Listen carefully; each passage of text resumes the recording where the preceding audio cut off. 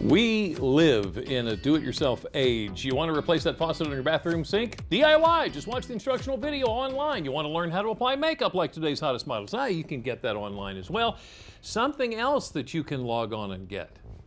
Straight teeth. Yeah, there are actually companies that will sell you invisible aligners over the internet. Sure, it's less expensive than seeing a local orthodontist, but is it worth it?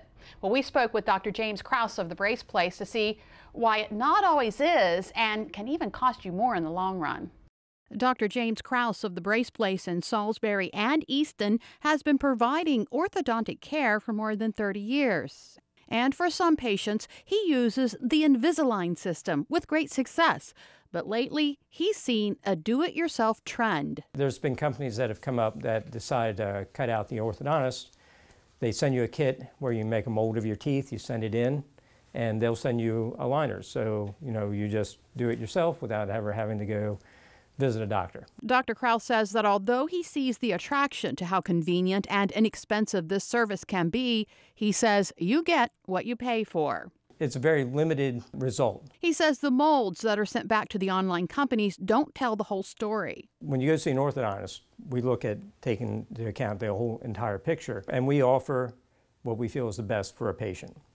So, uh, particularly for adults, they may could see an orthodontist and they say, uh, well, you know, you've got this and this going on, and I'm recommending full braces for two years and you need some teeth out. And in some cases, they may even recommend jaw surgery. And even with the less severe cases, Dr. Kraus says the do it yourself aligners only address the front teeth. So it's mainly mild crowding or mild spacing problems. Mm -hmm. um, at least that's, that's the way it should be. Now, um, they even say, a lot of these, they say themselves, will will give you a better smile. They're not saying we're going to give you a perfect smile or we're going to fix your bite or any of these things. Mm -hmm. They're just going to make uh, some cosmetic improvements. Mm -hmm. So it kind of depends on what your problem is. For example, Dr. Kraus says the online aligners will not fix an overbite. But if you do have some mild rotations, some teeth that are turned, you got one, this one tooth that's sticking out a little more than the other ones, it'll fix that kind of thing. Hmm. But, he cautions, you may be trading one problem for another. Sometimes you can make changes to the front teeth and everything will be fine.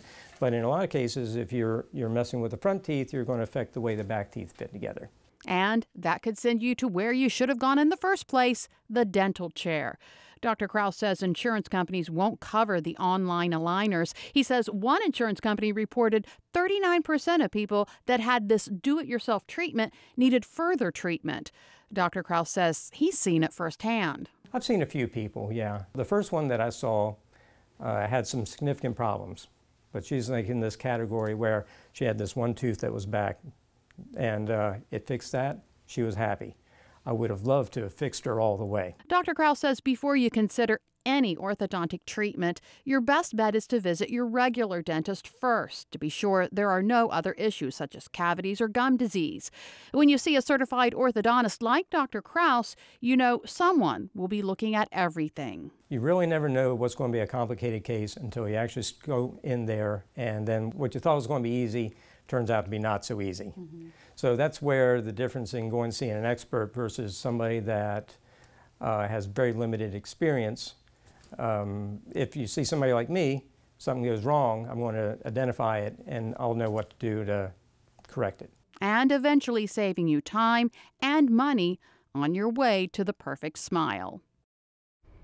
And as we mentioned before, Dr. Kraus does prescribe the Invisalign system, but it may not be the right choice for all cases. That's why he says you need to go in for a complimentary consultation. I'd trust an expert way before I would trust me. yeah.